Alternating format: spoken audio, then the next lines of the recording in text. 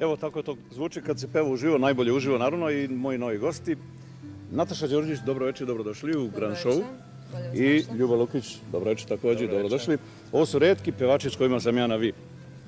Uglavnom sam skoro sa svima Pa na, ne bi, ja na ti. mislim da više, bar sa mnom, ne bi trebalo. Stvarno? da, Misliš? da, Odlično, presmo na ti. da. E, šta će nam pevati večeras, kako si, ovaj, šta ima novo?